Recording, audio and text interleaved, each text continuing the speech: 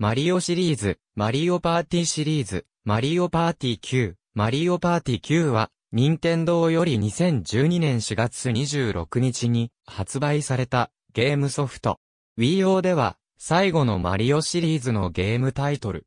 家庭用向けのマリオパーティーシリーズの11作目にあたり、前作のマリオパーティ8及びマリオパーティ DS から約5年振りの発売となった。本作の開発は ND キューブが担当。ボードゲームは本作からプレイヤー全員で1台の乗り物に乗ってマスを移動し、ステージのゴールに着くまでにリトルスターをどれだけ多く集められるか競うルールに変更され、前作のルールにあったターン数、コイン、スターの概念や前作までにあったタッグマッチのルールは廃止された。また、本作から従来のように4人で対戦する以外に、2人や3人だけでボードゲームをプレイすることも可能となり、ミニゲームも3人のみでプレイが可能となった。ある日の夜、マリオたちは夜空に輝く星、リトルスターを望遠鏡で観察していた。すると、突然、リトルスターが異空間に吸い込まれ始めていく。その原因はマシーンで、リトルスターを吸い上げていたクッパとその息子のクッパジュニアの仕業だった。事態を目の当たりにしたマリオたちは、クッパからリトルスターを取り返し、夜空を元通りにするための冒険へと出発する。一方のクッパは、彼らがリトルスターを取り返すのを阻止するため、密かに二人の資格を差し向けていた。パーティー、シングルの二つのモードでは、ボードゲームをプレイする。はじめに使用するキャラクター等のルールを設定し、プレイヤーの行動する順番を決定すると、ゲーム開始となる。パーティモードではプレイするステージや、ハンデなどのルールを設定でき、ハンデを設定しなかった場合、各プレイヤーのリトルスターの所持数が0個の状態で、ゲームが開始される。プレイヤーは一人ずつ順番に、キャプテンとなって、サイコロを振り、出た目だけ乗り物を進めて、ゴールを目指す。移動後止まるか通過したマスによって様々なイベントが発生するが、その効果は基本的にキャプテンが対象となる。ルート上にはリトルスターが配置されており、通過するとその時のキャプテンが入手できるほか、ルートの分岐点に到着した時は、キャプテンが進む方向を決定する。また、ミニゲームマスに止まった時等に、ミニゲームが発生することがあり、ミニゲームで勝利するか上位になると、リトルスターを多く獲得できる。プレイするミニゲームはキャプテンがランダムに表示されたものの、中から選択する。このような流れを繰り返し、ゴール地点でボスを倒すと、ゲーム終了となる。最後にリトルスターを最も多く持っていたプレイヤーが優勝となる。自分の番が来ると、持っているサイコロのうちどれを使うかを選択する。サイコロは全部で6種類あるが、このうち、ノーマルサイコロ以外は、アイテムサイコロと呼ばれ、サイコロマスなどに止まることで手に入れることができる。アイテムサイコロは1人2個まで持つことができ、一度使うとなくなる。また、手持ちのアイテムサイコロが3個以上になった場合、手持ちのアイテムサイコロが2個になるまでその場で選び、捨てなければならない。移動中に通過した場所や、止まったマスによって様々なイベントが発生する。ステージによっては、そのステージ専用の特殊なマスも存在する。なお、以下の記述で、マスのイベントの対象者は特に記述のないものは、その時のキャプテンとなる。緑、キノピオのいる地点に来ると、ラストチャンスというイベントが始まり、現時点で再開のプレイヤーはゆっくりサイコロをもらえる。その後クッパから、我が輩からも、プレゼントをやろう。どうする？プレゼントをたくさん欲しいよなと質問され、はいを選ぶと大量に、いいえを選ぶと少しだけ、クッパマスが増える。なお、この時コムがキャプテンだった場合は、必ず、はいを選んでしまう。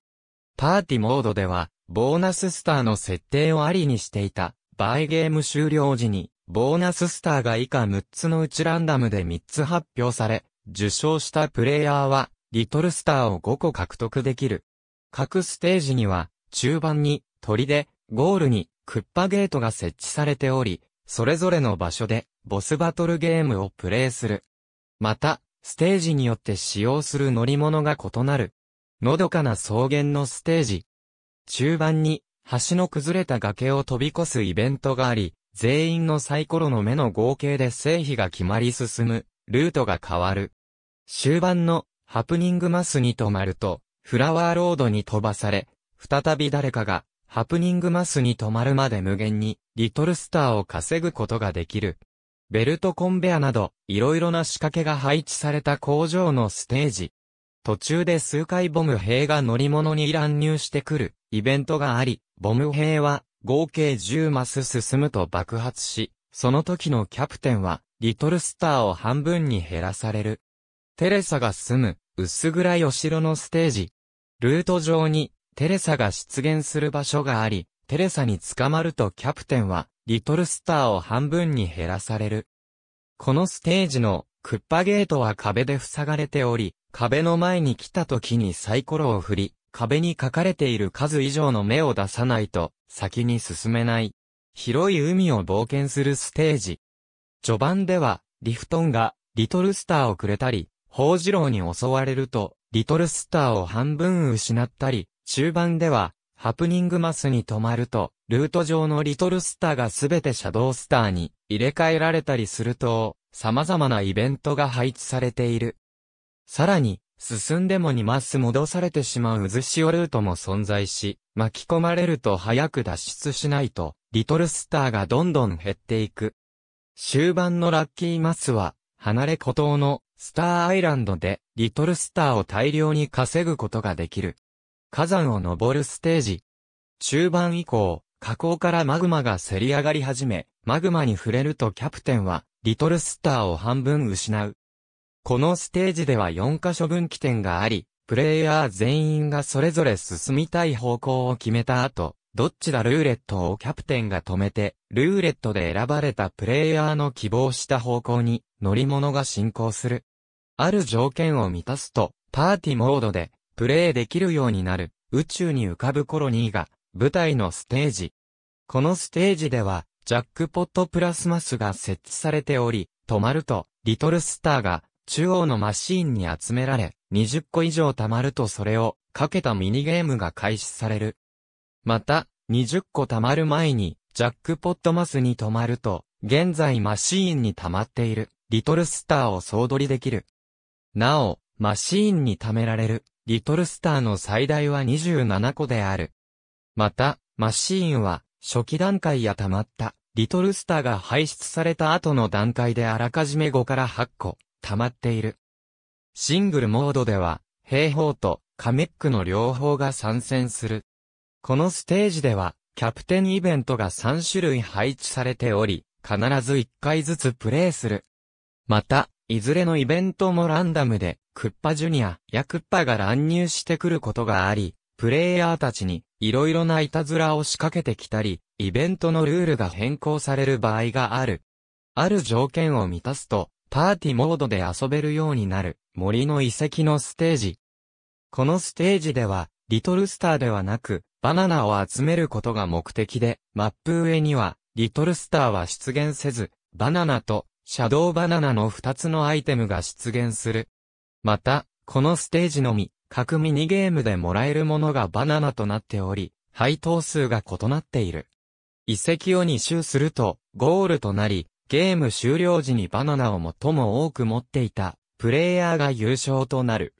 なお、遺跡を1周するとディディーコングによるミニゲームが2周すると、ドンキーコングによるミニゲームがスタートする。マップ左側のラッキーマスに止まると、ドンキーコングの像まで、樽大砲で飛ばされ、ドンキーコングの像に乗り、踏ん張った強さによって、バナナを獲得できる。マップ右側のラッキーマスに止まると、リディーコングのトーテムポールまで、樽大砲で飛ばされ、トーテムポールの中央の顔が前で止まるように、ヒップドロップをする。ちなみにトーテムポールになっているディディーコングは左から見ざる、聞かざる、言わざるの顔になっている。本作では全部で以下の80種類のミニゲームが収録されている。一部のミニゲームは特定のモードでのみ、プレイ可能。マリオパーティ100ミニゲームコレクション収録ミニゲームは、マリオパーティスーパースターズ収録ミニゲームはを表記。プレイヤー全員で競う2から4人用のミニゲーム。対戦終了後の結果によって順位が決定される。なお、ボードゲーム中に発生するバトルミニゲームとジャックポットミニゲームは全員対戦ミニゲームと共用となる。二人で協力してクッパジュニアと戦う二人用のミニゲーム。一人側とその他のプレイヤー全員の二手に分かれて競う3から4人用のミニゲーム。参加人数が合計2人だけの場合はプレイすることができない。プレイヤー全員で協力して、ボスと戦う2から4人用のミニゲーム。ボスに攻撃すると得点となり、ボスの体力をゼロにして倒した時点の得点数で、順位が決まる。また、ボスに、最後のとどめを刺すと、ファイナルアタックとなり、その攻撃をした、プレイヤー全員にボーナスポイントが加算される。ボスの体力は、参加人数によって変わる。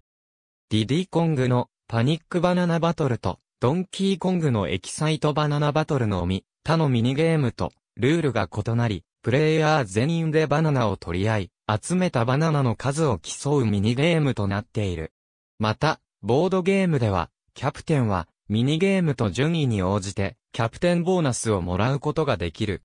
エクストラモードでのみ遊ぶことができる特別なミニゲーム。兵法とカメックはシングルモードをクリアすると、プレイヤーとして使用可能となる。